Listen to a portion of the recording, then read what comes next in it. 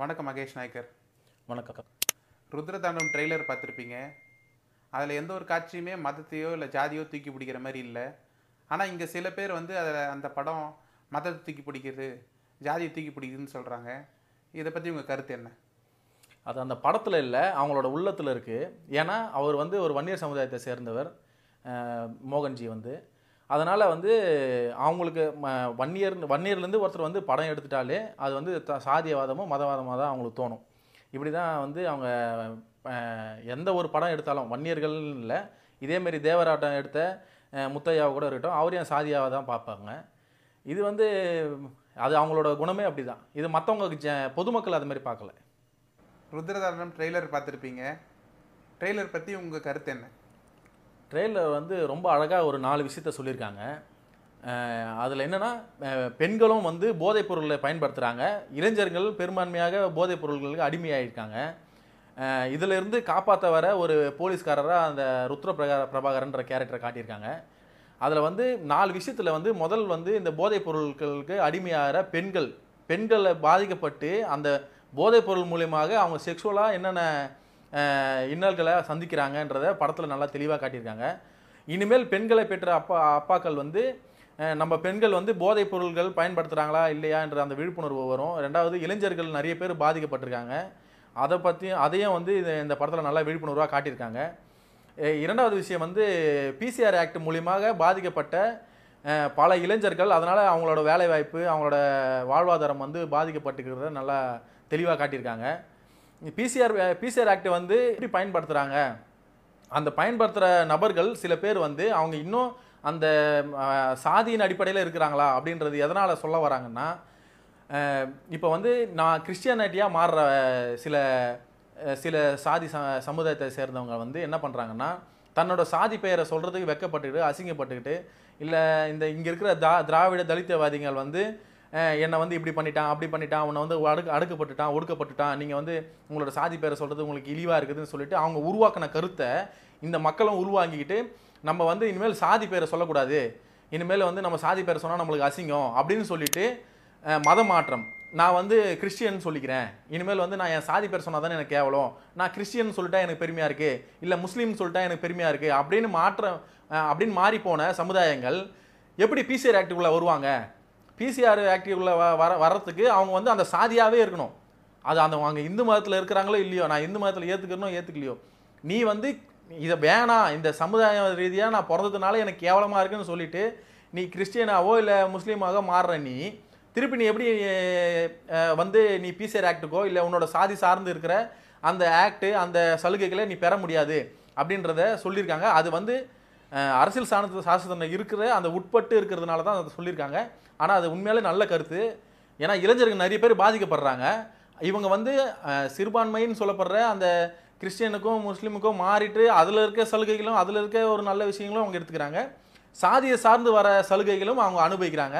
சாதியை சார்ந்து வர சவ சலுகைகளையும் அவங்க விட்டு கொடுக்கணும். அவங்க வந்து என்றைக்கு மதம் மாறி போகிறாங்களோ அவங்க கிறிஸ்டியனாக மாறும்போது தன்னோட சாதியை என்றைக்கு கை விட்டுட்டு அவங்க கிறிஸ்டியனாக மாறுறாங்களோ தன்னோட சாதியோட சாதியின் அடிப்படையில் வர எல்லாம் இடஒதுக்கீடும் அவங்க வந்து கைவிடணும். கைவிடு இடஒதுக்கீடும் கைவிடணும். அந்த அதில் வர அடிப்படையில் வர பிசிஆர் ஆக்டையும் கைவிடணும். இன்றைக்கி பல இளைஞர்கள் அது மாதிரி பாதிக்கப்பட்டு இன்றைக்கும் எங்கள் எங்கள் மாவட்டத்திலே நிறைய பேர் வந்து இன்னும் அந்த கேஸ் அனுபவிக்கிறான். அதனால் அவன் படிச்சுட்டு என்ன ஒரு தகுதியான இடத்துல இருந்தாலும் அவனால் கவர்மெண்ட் வேலைக்கு போக முடியாமல் கஷ்டத்தில் அந்த அந்த குடும்பமே அழிஞ்சு போகிற நிலைமையெல்லாம் இருக்குது இது வந்து நல்ல விழிப்புணர்வோடு இருக்கும். குறிப்பிட்டு சொல்லப்படுற இந்த பிசிஆர் ஆக்டோட பாதிப்பு வந்து எல்லா மாவட்டத்துலையும் இருக்குது அது எல்லா இளைஞரும் அனுபவிக்கிறான். அதனால் அவன் ஏற்படுற வழியை வந்து இது நல்ல படத்தில் நல்லா தெளிவாக காட்டியிருக்காங்க. இதில் வந்து மூணாவது விஷயம் என்னென்னா இந்த இந்த சாதியை சார்ந்து பிசிஆர் ஆக்ட் மூலிமா பாதிக்கப்படுற மக்கள் பாதிக்கப்பட்ட இளைஞன் வந்து சாதிய வெறியனாவே அவன் வந்து முத்திரையிடப்படுறான். அதை வந்து அந்த அந்த ருத்ர பிரபாகரன்ற கேரக்டர் வந்து அதை அந்த ஒரு சீனில் வந்திருக்கும். நீ வந்து வெளியில் எப்படி தெரியுமா அறியப்படுற? நீ வந்து சாதி வெறியனா அறியப்படுற?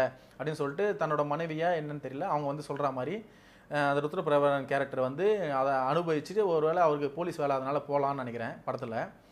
இது வந்து நான் என்ன சொல்கிறேன்னா போலீஸுன்னு இல்லை. இளைஞனே அந்த இளைஞன் வந்து பிசிஆர் ஆக்டினால் பாதிக்கப்பட்டு அவனோட வேலை வாய்ப்பை தவிர்க்கிறான் தவறிடுறான். அவன் குடும்பமும் அழிகிற கட்டத்துக்கு போயிடுது. அவனால் இப்போ ப்ரைவேட்டான வேலைக்கும் போக முடியாத அளவுக்கு அவனை சாதி வெறியனாக காட்டுறது. அந்த அவன் வாழ்கிற பகுதியில் வந்து அவனை சாதி வெறியனாக மாறி அவனை காட்டிட்டு அதனால் அந்த அவன் சார்ந்து இருக்கிற அந்த சமூக மக்களும் வந்து இதனால் தூண்டும் வகையில் ஆகிறாங்க பீசர் வகையில் இப்போ என் என் பங்காளியோ என்னோட மாமனோ சித்தப்பனோ பெரியப்பனோ அந்த மாதிரி மாட்டிக்கிறான்னா இப்போ எனக்கு வந்து அந்த பாதிப்பு இருக்கும். ஏன்னா அவரால் வந்து சரியான வேலை வாய்ப்பு கிடைக்காம அந்த பாதிப்பு வந்து எனக்கும் அந்த கோபம் வரும். யாருன்னா இந்த பிசிஆர் ஆக்ட் கொடுக்குறாங்க பாருங்கள் அந்த சமுதாயத்துக்கு மேலே எனக்கு வர கோபத்தினால வர கலவரம் தான் இங்கே தமிழ்நாட்டில் மிகப்பெரிய கலவரம்னா நிறைய கலவரம் உருவாகிறதுக்கு காரணமே இந்த பிசிஆர் ஆக்ட் தான். அதை வந்து நல்லா படத்தில் காட்டியிருக்காங்க. ஏன்னா இது பிசிஆர் ஆக்ட் வாங்குறது இல்லாமல் அவரை தா சாதி வெறியனாக காட்டுறது. அவர் சாதியை சார்ந்து அவர் எதுவும் பண்ணியிருக்க மாட்டார். முதல்ல அந்த பிசிஆர் ஆக்ட் கொடுக்குறாரு பாருங்கள் அவரை சாதியை சார்ந்து எதுவும் இவங்க பேசியிருக்க மாட்டாங்க. ஏய் நீ போடா அந்த பையில நீ போடா இவனே அப்படின்னு சொல்லிட்டு அடிக்கிறதுலாம் இங்கே எதுவுமே நடக்கிறதில்ல. சாதா சண்டை. அந்த தனிப்பட்ட தனி நபருக்கும் இந்த தனி நபருக்கும் சாதாரணமாக ஏற்படுற சண்டையில் அந்த சண்டையின் மூலியமாக இவர் பாதிக்கப்பட்டிருப்பார். பா அந்த பிசிஆர் ஆக்ட் கொடுக்குற ஒரு நபர் வந்து பாதிக்கப்பட்டுட்டாருன்னா இவன் உடனே என்னை சாதி பேர் சொல்லி திட்டுட்டான். அதனால தான் வந்தது இந்த பிரச்சனைன்னு சொல்லிட்டு இவர் போய் பிசிஆர் ஆக்ட் போட்டுருவார் அவர் மேலே.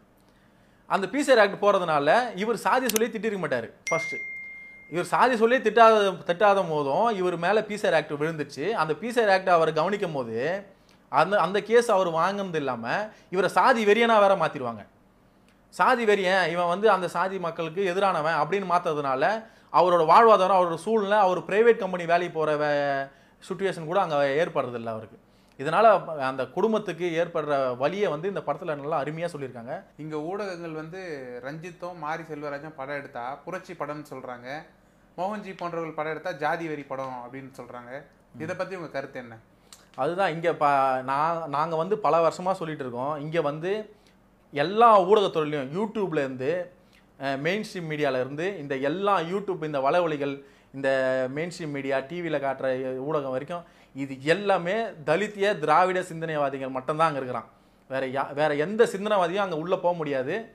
இவர்கள் உள்ளே உட்காந்துட்டு என்ன பண்ணுவாங்கன்னா இவங்களுக்கு தேவையான அரசியல் இந்த தலித்தை சார்ந்து இருக்கிற அது அரசியல் வந்து அதாவது தலித்துன்னு சொல்லப்படுற மக்களை சார்ந்து இருக்கிற அரசியல் அவங்களுக்கு தேவையில்லை. தலித்து அரசியல் திராவிட அரசியல் இதுக்கும் அதுக்கும் வித்தியாசம் இருக்குது இந்த தலித்த திராவிட அரசியல் வந்து இங்கே இங்கே எடுபடணும். அதுக்கேற்ற மாதிரி எந்த டேரக்டர் வந்து ஒருத்தர் வந்து படம் எடுக்கிறாரோ அது வந்து பொதுநல படம். அது வந்து எல்லா சாதிக்கும் தேவையான படம். அதுதான் வந்து மக்களோட படம்னு சொல்லிட்டு இங்கே மிகப்பெரிய சேனலே சொன்னால் பாமர மக்கள் என்ன பண்ணுவான்? மிகப்பெரிய சேனலே சொல்கிறான் இதுதான் நல்ல சமூக நீதி படம்னு சொல்லிட்டு அப்படின்னு சொல்லிட்டு அவனுக்கு அது மனசளவில் அது ஒத்துக்கலைனாலும் இவங்க அதை திணிப்பாங்க. அதுக்காகவே அவங்க உருவாக்கியிருப்பாங்க. அதுக்காகவே இந்த மாதிரி டேரக்டர் உருவாகுறாங்க. டேரக்டர் உருவாகிட்டு இந்த தலித்திய திராவிட சிந்தனை தான் வந்து இங்கே பொதுவானது. மற்ற சாதிக்கான படம் எடுத்தால் அது சாதி வெறி. ஆ உடனே இப்போ ரஞ்சித் இப்போ ரஞ்சித் எடுத்த படம் வந்து ச சமூக நீதி படம். இதே வந்து நம்ம மோகன் மோகன் எடுத்தாருன்னா அது வந்து சாதிய சாதியவாதிய படம் மதவாதிய படம் எல்லாமே போடும் எல்லாமே சொல்லுவாங்க. இப்போ நீ நீங்கள் பொதுமக்கள்கிட்ட போய் கேட்டு பாருங்கள் பொதுமக்கள் கேட்டால் இப்போ ஏன் அப்போ இந்த படத்துக்கு இவ்வளோ வரவேற்பு வருது? எந்த ஊடகத்தில் இப்போ போட்டான் இந்த படத்தை? எந்த ஊடகத்தில் வந்து இந்த ட்ரெய்லரை போட்டு காட்டினா? கண்ட படம் வருது. ஏகப்பட்ட சமூகத்தை கெடுக்கிற மாதிரி ஏகப்பட்ட படம் வருது. அந்த படத்தெல்லாம் வந்து ட்ரெய்லரை ட்ரெய்லரை போட்டு காட்டுவான். ஒரு சின்ன ஒரு நிமிஷமாச்சு இந்த மாதிரி ஒரு படம் வருது இந்த மாதிரி ஒரு ஹீரோ நடிக்கிறாரு இந்த மாதிரி ஒரு டேரக்டர் பண்ணுறாருன்னு காட்டுவான். இதே இந்த ப- இந்த மோகன் மோகன்ஜி எடுத்த படத்தை மட்டும் ஒரே ஒரு ஊடகத்தில் கூட வரல பாருங்கள் ஏன்னா அவங்களோட சிந்தனை அவங்களோட சிந்தனையை முறியடிக்கிற படமாக இந்த படம் இருக்கிறதுனால அவங்க வந்து இவங்களுக்கு அகேன்ஸ்டாகவே தான் பண்ணுவாங்க. இது வந்து சாதிய படம். சாதிய படமே இல்லை. இதை பொதுவாக எடுத்திருக்காரு. இந்த மாதிரி வந்து பிசிஆர் ஆக்டரால் இது பாதிக்கப்படுது. ரெண்டாவது இந்த மாதிரி இளைஞர்கள் வந்து மது பழக்கமோ இல்லை போதைப் பொருட்கள் பழக்கத்துக்கு அடிமை அஹ், அடிமையாகிறாங்கன்ற ப படத்தை காட்சியை காட்டியிருக்காரு. ரெண்டாவது மத மாற்றம். மத மாற்றமும் இங்கே பெருசாக நடக்குது. அந்த மத மாற்றம் நடக்கிற மத மாற்றம்னால நடக்கிற அது கூடவே சேர்ந்து வர இந்த பிசிஆர் ஆக்டும் அதனால் எப்படி இந்த இளைஞர்கள் அழிக்கப்படுறாங்க அப்படின்ற காட்சியை எடுத்திருக்காரே தவிர இது வந்து அவ்வளோ வந்து ஒன்றும் பெரிய மக்களுக்கு எதிரான படமாக ஒன்றும் எனக்கு தெரியல. அது யாருக்குமே தெரியல. மக்களுக்கு இப்போ எதிரான படமாக இல்லை. பெரும்பான்மையாக ஊடக பெரும்பான்மையாக இருக்கிற ஊடகத்தில் வந்து இந்த திராவிட தலித்திய சிந்தனையாளர்கள் இருக்கிறதுனால அவங்க வந்து இந்த படத்துக்கு எதிரான நிலைப்பாட்டை ஏற்க தான் செய்வாங்க. இது வந்து மக்களுக்கு தெரியும். இது ஒரு நல்ல படமா எப்படின்றது. இது மக்களுக்கு தெரிஞ்சதுனால தான் இந்த இந்த படத்தை ப- இந்த படத்துக்காக இவ்வளோ பெரிய வரவேற்பு வந்திருக்கு. நன்றி மகேஷ் நாயக்கர். நன்றி.